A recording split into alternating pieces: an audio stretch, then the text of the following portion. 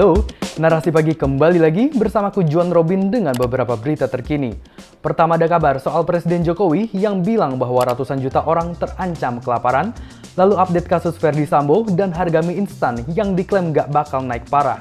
Gak kelupaan ada juga kabar soal Donald Trump yang diperiksa Jaksa Agung dan action figure Zelensky. Ini dia selengkapnya. Presiden Joko Widodo menyebut 800 juta orang di dunia terancam kelaparan. Waduh, kok bisa ya? Dunia sekarang ini sedang dilanda yang namanya krisis pangan. 300 juta lebih orang sekarang ini berada pada kekurangan pangan akut dan kelaparan. Di beberapa negara sudah mulai, mulai, mulai. Dan diperkirakan kalau ini tidak ada solusi bisa masuk ke 800 akan kekurangan pangan dan lapar. Presiden RI Joko Widodo menyampaikan bahwa saat ini terdapat 300 juta orang di dunia yang sudah menghadapi kekurangan pangan akut dan kelaparan. Bahkan diperkirakan angka ini bisa aja melonjak ke 800 juta orang kalau enggak ada solusi. Hal ini disampaikan Jokowi dalam kunjungannya ke Boyolali, Jawa Tengah 11 Agustus 2022 untuk meninjau kebun kelapa genjah. Merespons ancaman ini, Presiden Jokowi meminta semua pihak, utamanya Kementerian Pertanian, untuk segera bikin lahan yang menganggur jadi produktif. Setidaknya, ini untuk menekan angka kelaparan di dalam negeri. Jika ini dilakukan, Jokowi juga yakin kalau lonjakan harga cabai nggak bakal terjadi lagi, karena pasokan cabai akan berlimpah. Mengutip sistem pemantauan pasar dan kebutuhan pokok Kementerian Perdagangan per 11 Agustus 2022, harga cabai merah besar sendiri sudah sentuh Rp65.900 per kilogram. Cabai merah keriting di harga Rp66.300 per kilogram, dan cabai rawit merah di harga Rp71.600 per kilogram. Kondisi dunia emang sedang tidak baik-baik aja, Usai terdampak berbagai permasalahan global macam perang Rusia-Ukraina dan pandemi COVID-19.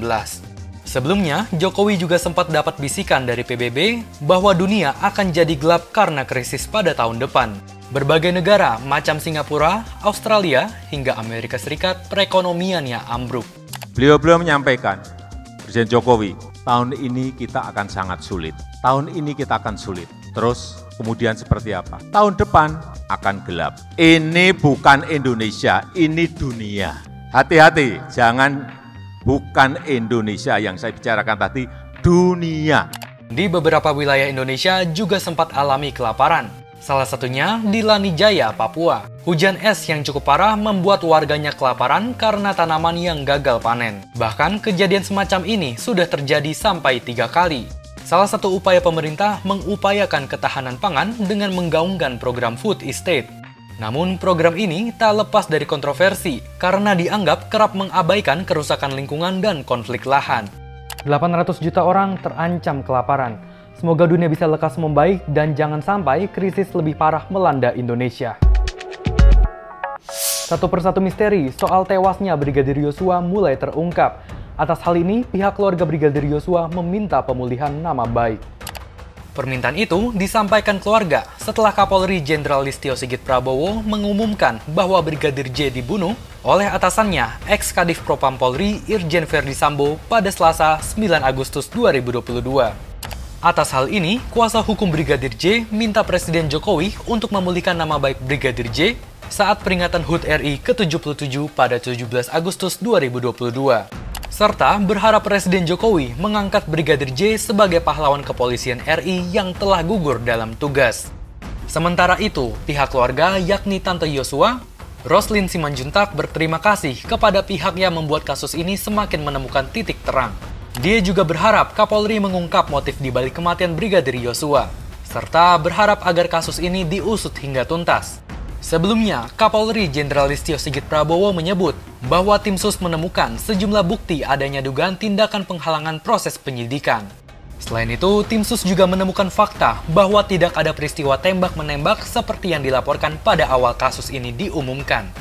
Sebab berdasarkan rekaman CCTV yang baru-baru ini terungkap menunjukkan bahwa Sambo, Putri, Barada E, dan Brigadir J berada di rumah pribadi Irjen Sambo dan nggak ada insiden baku tembak.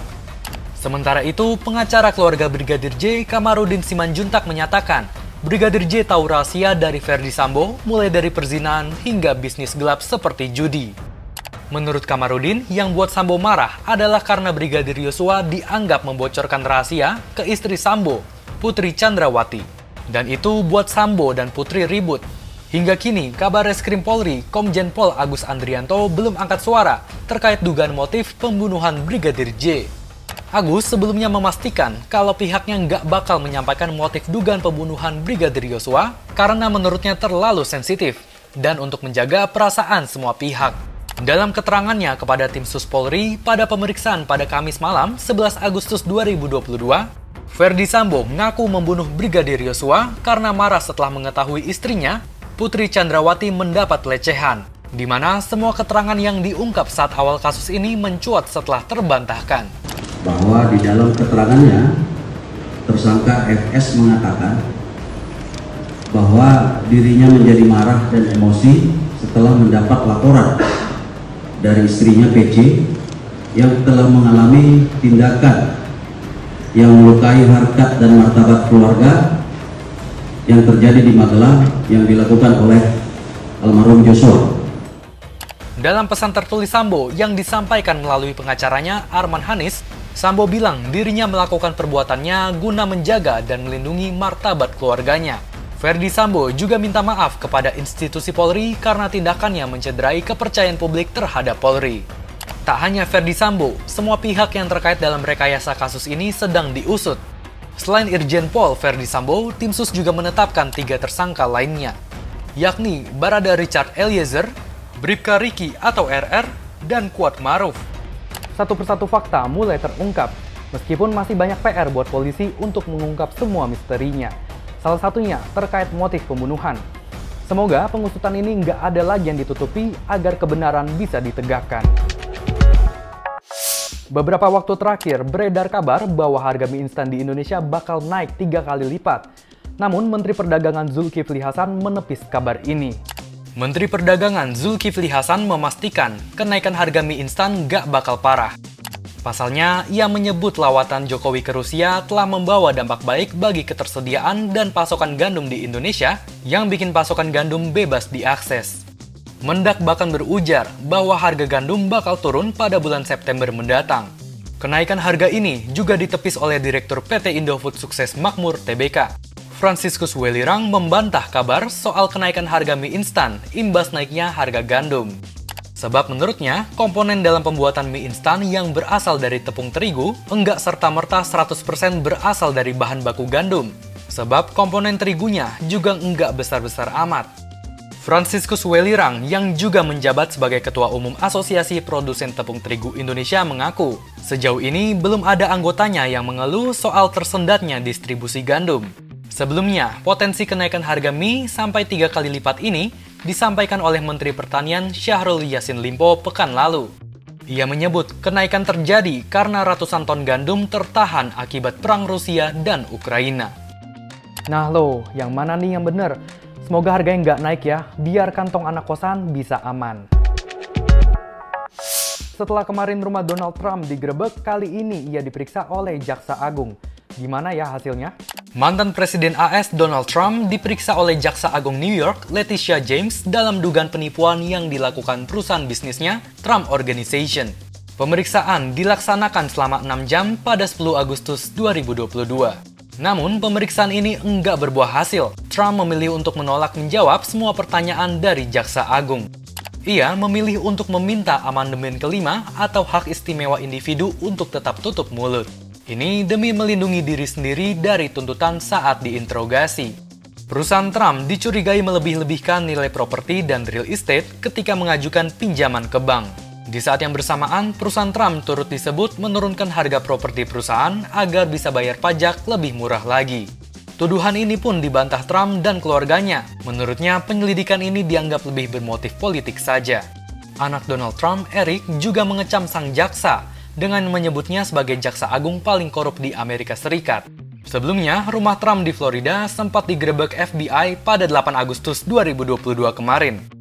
Penggerebekan itu terkait dengan dokumen rahasia kepresidenan yang diduga dibawa ke rumah Trump. Dalam penggerebekan itu, ditemukan 15 kotak dokumen yang berasal dari Gedung Putih. Isinya diduga termasuk hal-hal yang bersifat rahasia. Penyelidikan ini sendiri sudah berlangsung selama beberapa waktu. Awal tahun 2022 lalu, penyelidik juga disebut pernah menggeledah rumah Trump. Saat ini, Kementerian Kehakiman AS tengah menjalankan penyelidikan dua kasus terkait Trump. Pertama, dugaan upaya pembatalan hasil Pilpres pada 6 Januari 2021. Kedua, terkait kasus penguasaan dokumen rahasia negara secara tidak sah. Hmm, kira-kira Donald Trump ada salah apa ya? Semoga masalahnya bisa cepat beres dan diusut seadil-adilnya. Presiden Ukraina Volodymyr Zelensky dibuat jadi action figure. Kira-kira gimana ya bentukannya? Setelah dapat perhatian global imbas perang yang terjadi di negaranya, Volodymyr Zelensky dijadikan action figure oleh perusahaan desain produk di Brooklyn, New York, FCTRY. Dalam hal ini, FCTRY meluncurkan kampanye Kickstarter untuk mendanai produksi action figure itu. Dari penggalangan dana, terkumpul 30 ribu dolar AS atau setara 440 juta rupiah hanya dalam 3 jam. Hingga 10 Agustus 2022, penggalangan dana yang telah dikumpul adalah 120 ribu dolar AS. Penggalangan dana sendiri akan ditutup hari ini, Jumat 12 Agustus 2022. Kepala Eksekutif dan Direktur Kreatif FCTRY menyebut action figure Zelensky dibuat karena dirinya adalah pemimpin yang sempurna dan inspiratif. Sejak Ukraina diserang Rusia, Zelensky selalu jadi garda terdepan membela negaranya. Nah, hasil penjualan action figure ini akan didonasikan ke warga Ukraina. Di mana action figure itu dicetak oleh seniman Seattle, Mike Levitt, yang dibuat dari tanah liat dan dengan tinggi 15 cm. Action figure itu pun akan diproduksi massal dengan bahan plastik di China dan akan mulai didistribusikan pada Maret 2023 nanti. Action figure itu sendiri dijual dalam beberapa paket, 20 dolar untuk satu action figure original, 40 dolar untuk satu action figure original dan satu action figure in black, serta 100 dolar untuk 6 action figure original. Selain action figure dari FCTRY, perusahaan Citizen Brick juga memproduksi action figure Zelensky. Joe Trupia, pemilik Citizen Bricks mengatakan, produksi action figure ini bertujuan untuk penggalangan dana bagi masyarakat Ukraina. Dalam satu jam, mereka berhasil menjual 145 ribu dolar. Gimana menurutmu soal action figure Zelensky? Kira-kira action figure Putin bakal ada nggak ya? Itu dia 5 sarapan informasi kita hari ini. Narasi pagi akan kembali lagi Senin pekan depan pukul 8 waktu Indonesia Barat live di Instagram Narasi Newsroom dan Mata Najwa. Sehat semangat terus semuanya. Bye-bye.